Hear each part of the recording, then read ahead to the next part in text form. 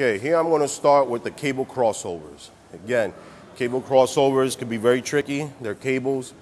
Most people just think you just grab them and just kind of yank them down and do them. It's not quite that easy. Again, if you want an effective results from the muscle and body part you're training, okay? First, I want to show you how to work the upper pec, the middle, middle and upper pec, right here, straight across, okay? Want to go in the middle here.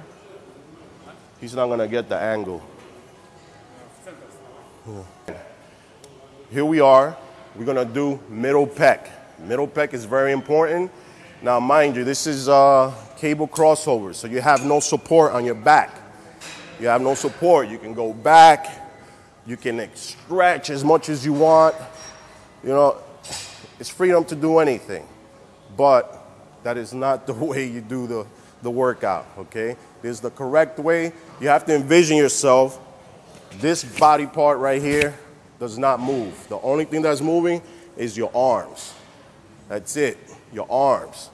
You keep your torso nice and locked, chest out, and try to balance yourself with your feet. Okay?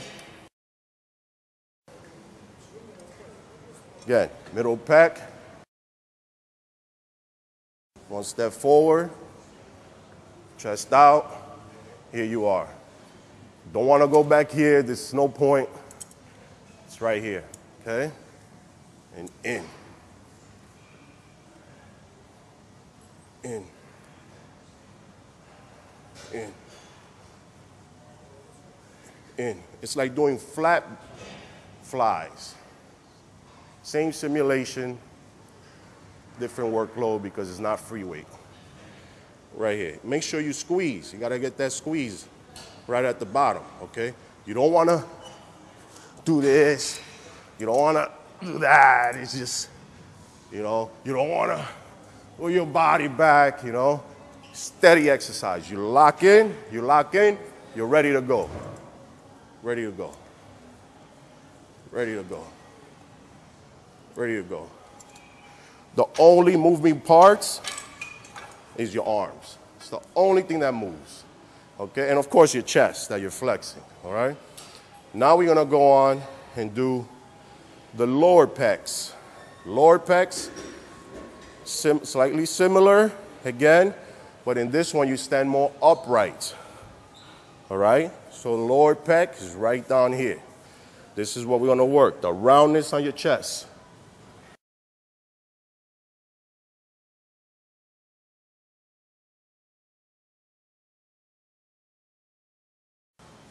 This one, same thing.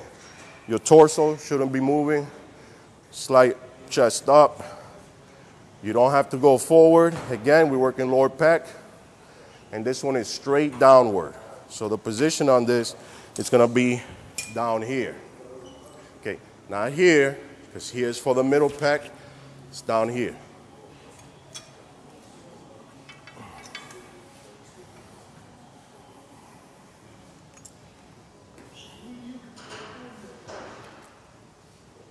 And you don't need to go any higher. That's it, right there.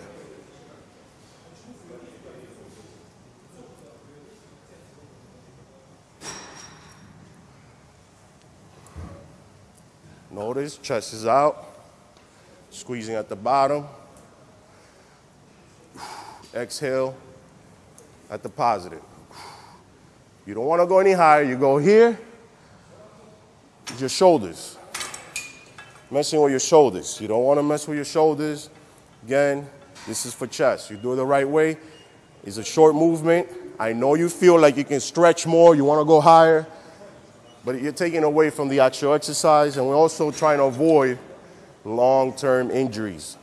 No long term injuries, okay? Exercising is supposed to be the fountain of youth, so let's keep it young, okay? Again, lower pec, right here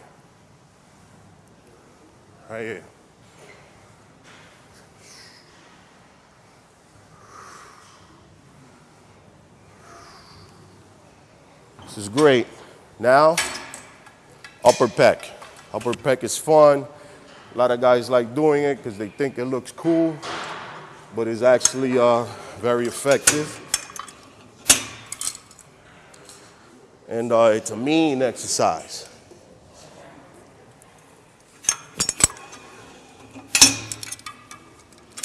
This one is more like you're scooping.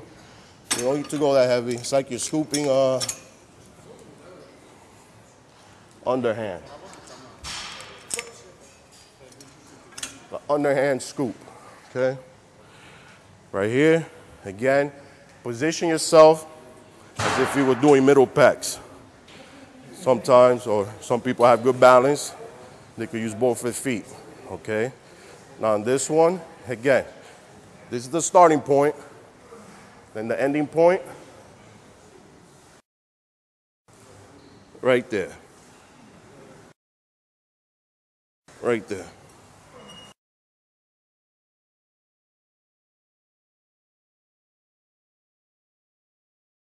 You don't want to go any lower. You go here. Now you have to use your arms. You have to use your bicep. You don't want to have to always use your bicep. It is a secondary muscle, but it is for pecs. Short movement.